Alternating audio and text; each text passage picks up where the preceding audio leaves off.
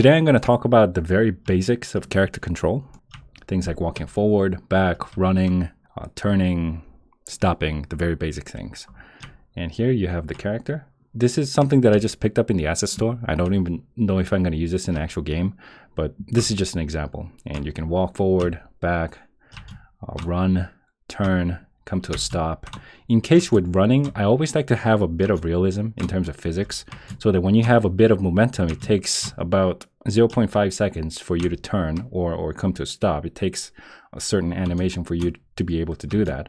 Uh, I do have an excep exception in case with idle and walking.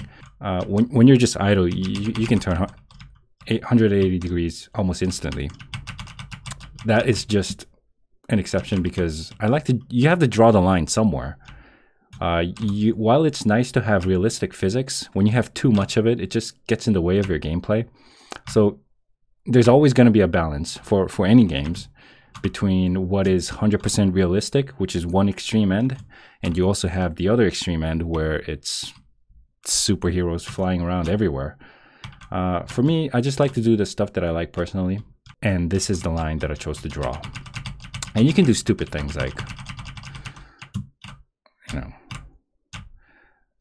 but every game designer is different. It's just a matter of where you put down your foot. And here we have a simple state machine. As you can see, we're going from idle to run to stop. Uh, basically, in order for you to reach a certain action, you have to take a certain path. It's not like you can just go from full speed running to uh, a complete stop idle animation. You just can't do that. That just goes against basic physics. Today's stuff is mostly code. I mean, all this is based on a bunch of code that I wrote. And sharing code can be really boring, so I just like to talk in general terms. You can look at the GitHub page if if you're interested, but I don't think anybody's going to do that. But anyways, in order to make this a little more interesting, I plan to have enemies as well, uh, a, a bit of an interaction. The enemies are going to have the exact same model, the same mechanism, except it's going to be controlled by AI instead of me controlling it through a keyboard. That pretty much should be the only difference.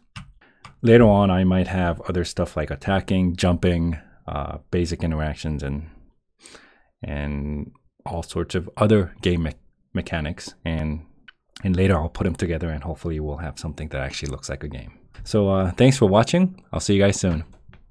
Bye bye.